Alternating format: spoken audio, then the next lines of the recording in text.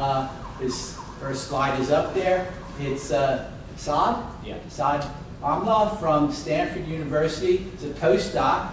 And it's uh, about a, I thought it was a 20 cent centrifuge, but it's paperfuge. Well, it's a 20 cent paperfuge. You ready, Paul? Going. Go for it. Okay. All right, thank you, John. I'm going to tell you about a low-cost centrifuge. And to give you a context, a few of us at Stanford in the bioengineering department think about frugal science. Another way of thinking about this is doing diagnostics under a tree.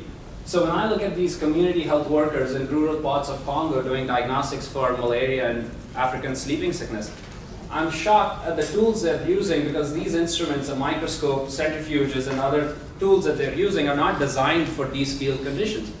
And so in our lab, we think about low-cost tools in terms of how do we bring, bring these tools under a tree. These are electricity-free, low-cost, and they're simple. So you can, they're portable, you can carry them. What you're not seeing under the table over here is a power generator that powers this. So a previous uh, object from our lab is, instrument from our lab is a $1 microscope. I'm not gonna talk about that. But you'll quickly see that I'm a walking laboratory. I have another tool in my pocket right here. To give you a little bit of a zoomed out context, why a centrifuge? If you were to walk into a hospital today at Stanford and you were to do a test, they're probably going to, the doctor's going to take a droplet of blood and do a molecular assay because it's very accurate. They're going to do PCR and they're going to use an ultracentrifuge. But if you do the same thing, I, I just came back from Madagascar a few weeks ago, and if you walk in a com- community health clinic, they're going to do a paper-based assay, a rapid diagnostic test. It's not as accurate, but it's decentralized. You can carry these. And so I think there's a design opportunity. If you solve the centrifugation problem in the future, we can think about molecular tests, which are very, very accurate and bring them to the field. So I'm going to show you the paperfuge. I'm carrying it in my pocket. But just to give you a context and force you to think about this for a second, this is a fundamental problem of converting human energy, muscle energy, into rotational energy. This is, I brought a few demos. This is an electric centrifuge, costs a few thousand dollars. Now anybody who uses a centrifuge over here at some point in their life, just shout out an RPM that you think a typical centrifuge operates at. About 6,000, 10,000 RPM, that's what this does. Two minutes, it can separate out plasma from blood. Now people have been thinking about this, and as engineers, we build devices by going into the kitchen, a garage. This is a salad spinner. How many of you use a salad spinner in your kitchen, right? It goes about a few hundred RPM. Imagine separating plasma from blood. It takes a lot of time. It takes 20 minutes. This is a group from Harvard, right? Egg beater. Imagine doing this for 20 minutes. A lot of fatigue.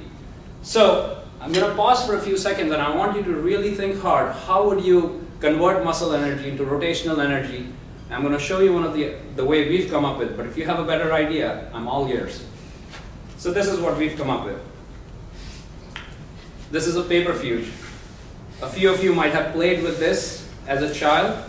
Now I'm going to ask you a puzzle. How fast do you think this is spinning? You have to shout out a number. 1,000? Anyone else? So you said 1000 RPM? It's 20 cents, it's hardly anything. It's not 200 RPM, it's not 2000, it's 20,000 RPM. That's about 10,000 G forces. It only weighs a gram.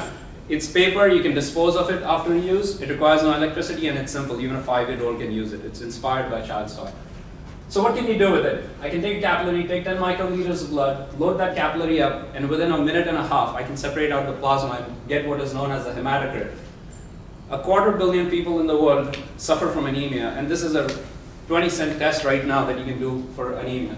But we can do even better. We can do infectious disease diagnostic, malaria.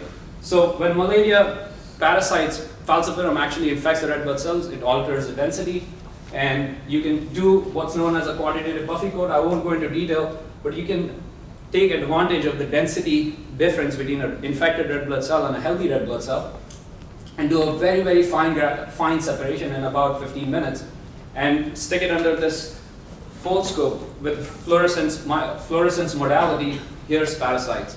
And this is what we just did in uh, rural parts of Madagascar for 50 patients just to do field tests with this. I want to emphasize that this is not just frugal engineering. We think about this frugal science, and even though this might be a simple toy, it actually has complex physics. Unlike a traditional centrifuge that spins at a constant RPM, this has an oscillatory type of behavior.